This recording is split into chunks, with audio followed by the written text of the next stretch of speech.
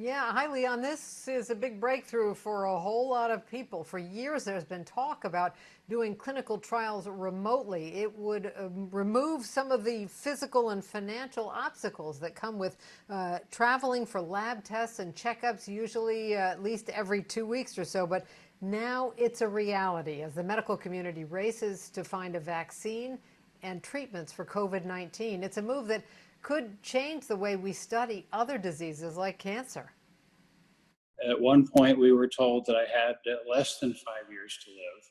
Mike Snyder has been battling a rare form of bone cancer called chondrosarcoma for the past 20 years.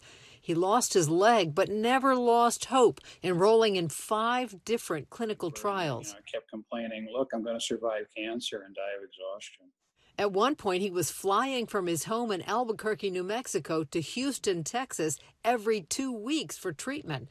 The travel costs kept piling up, forcing his family to make a difficult decision. Do we sell everything and move to Houston so I can continue the treatment? Or do we just let na- nature take its course so I don't put my family in the poorhouse? But what if those obstacles didn't exist? The FDA recently issued new guidance allowing clinical trials to go virtual to keep the science moving forward despite the quarantines and travel limitations in place because of the pandemic. So, what I'm hopeful is that we will be energized by the experience of COVID 19 uh, to take a fresh look at cancer research and apply some of those lessons. Dr. Louis Weiner is the director of the Georgetown Lombardi Comprehensive Cancer Center. He says remote monitoring can lead to higher enrollment and greater diversity in clinical trials. Assuring that our patients who are disadvantaged because of distance, because of economy, because of race, that they have a fair shot at getting the same high quality care plane ticket cost $850. It's the reason companies like Lazarex Cancer Foundation got started, covering out of pocket expenses for more than 5,000 cancer patients enrolled in clinical trials.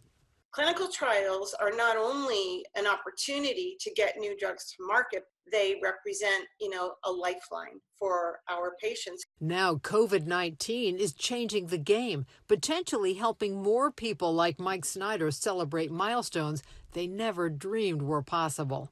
Long enough to celebrate my 60th birthday, long enough for my wife Sarah and I to celebrate our 30th wedding anniversary. So life is good.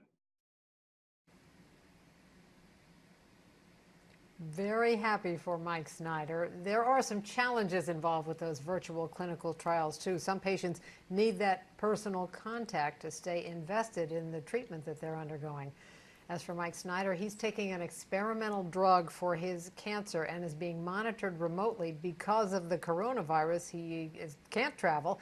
He says he feels great and he hopes that this is the wave of the future. But Leon, this really does open up a lot of new possibilities for people to uh, to be able to participate in, in clinical trials that have not been available to them in the past.